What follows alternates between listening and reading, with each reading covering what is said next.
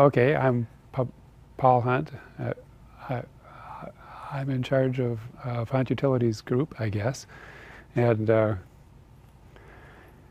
and I'm working on the airflow calorimeter. We, we, we've played with all kinds of different calorimeters, and uh, it always ended up that that that I ended up uh, dumping the heat in the air anyway. And I thought, well, let's just dump the heat straight in the air and let's measure it. And a lot of people say that's pretty difficult to actually accurately measure heat with airflow. And there's, it's really tricky. And I'm going, well, we've got a lot of tricks in this one. We're going to show some, of the, some of the tricks. The airflow calorimeter is this basic box over here. And the main idea is the air flows in one side, flows past our unit under test, which goes in this ch- ch- chamber here, and then flows out the other end. As it comes in, first, first there's an air, air filter here. And then once it gets past that, it comes in past a heater. This is a custom wound heater, it, and its main job is to heat,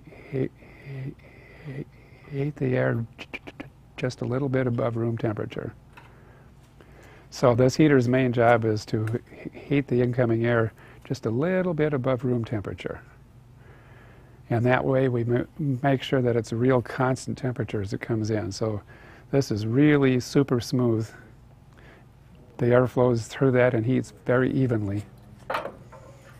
And the next bet is, is the air comes in and flows through this sensor. This is a sensor that's also very smooth. This is a 150 foot long RTD. Most R, uh, RTD sensors are about the size of a pinhead. This one's 150 feet long, so it, it'll sense every part of the air. And as long as the air is either a smooth flow or a smooth temperature, we're going to be accurate. We're shooting for both, of course. Now, this can pick up heat from the air flowing over it, but it can also pick up some from a little, little bit of radiation coming from hot things like the heater next to it, which, by the way, is only mildly warm. So we, we have a baffle. This goes on both sides of the sensor. It's easy to blow air through it. It's got lots of channels that are V-shaped. So the air blows through easy. The light does not, and the radiated heat does not. So this gets sandwiched in between two of these. And as a unit, it plugs in here. So we have the heater, baffle, sensor, baffle. Then we have another heater that heats the air up approximately one degree to a very precise temperature. It, it's going to be as, as tight as, as our control can make it. And coming in, it's, it's, it's already very, very tight, better than a tenth of a degree. After that heater, that raises the temperature by around one degree, we sense it again with a, with a baffle sensor combination. And we use that to, to, to, to co- co- control the power going to, to this heater. And we extremely carefully measure the amount of power going in this heater. So now we know the exact temperature rise before and after the heater and the exact amount of power. So we know how, how, how much, how, how many watts it takes to, to raise the air temperature by around, by, by around one degree. And that's happening all the time. It Happens live while, while, it's in play. Then it goes through a few of these baffles. The, this job is to smooth out the, the airflow and the temperature distribution. And by the way, all these things s- sliding card channels, because this is a prototype. We, we, we, we don't know what, what exact layout works best. so we can move stuff around. After the baffles, it goes through a fan.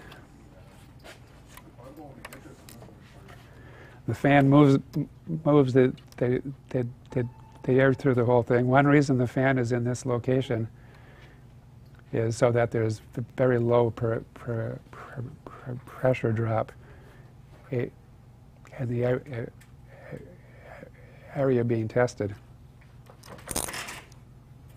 Crash. Okay, after the fan, the, the air will go down through a channel underneath this wall. It flows through that channel, turns around and flo- fl- flows back through, through another channel. Its job is to pick up any heat out of the wall and to keep the wall at, at a nearly constant temperature. That, that way it settles a lot fa- fa- faster if you,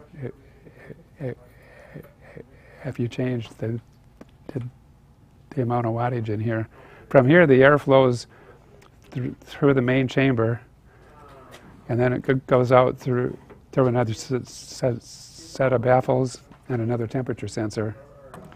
And you're measuring the temperature rise from this sensor to this sensor. And we, we, we, we're also measuring the amount of power go, go, go, going in the fan. And it, because that, that, that's adding heat in the process here. And uh, that's relatively constant anyway. So anyway, well, once this whole thing is set, set up and you have a unit under test inside, what you do is, is uh, uh, automatically calibrate it. It goes through a, through a, a stepped calibration. And the calibration steps up by, by adding one watt, then five watts, then 10 watts. It, all through, through the range that you pl- pl- plan on actually using. It makes a calibration curve which factors out any losses, any, any inaccuracies in the whole thing. And that curve is used as, as long as you don't ch- ch- change any major airflow.